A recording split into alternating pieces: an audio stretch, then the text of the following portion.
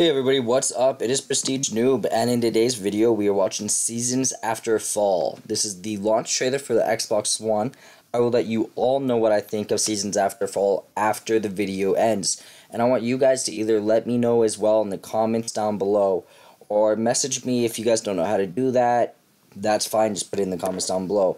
Also, if you guys could all drop a like on this video, tell a friend, uh, tell your girlfriend, Tell tell your parents, tell anyone that might enjoy this video or any of the other videos on my channel.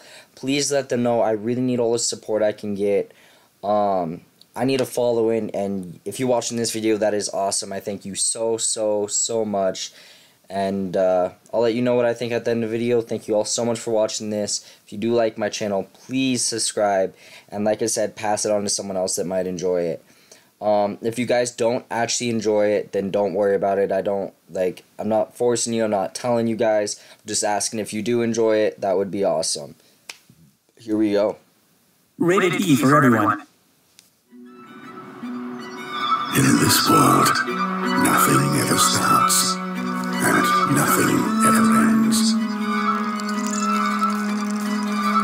If you know where to look, if you know how to listen, you'll always be able to hear a voice.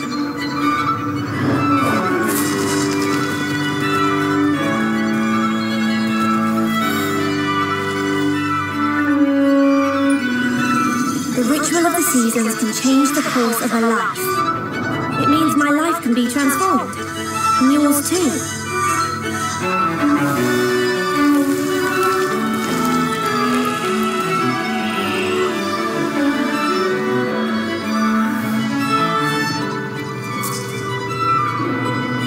Very careful, Fox. There's something strange happening to this forest.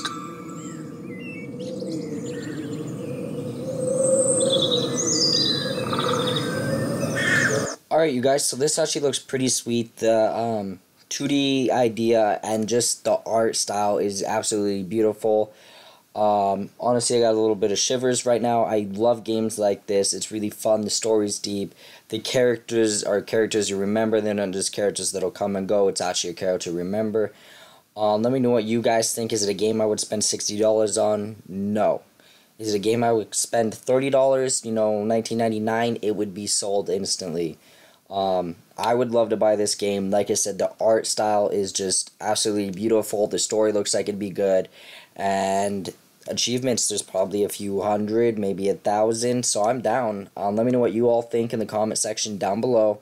And thank you all so, so much for watching this video. Peace out, Freshies.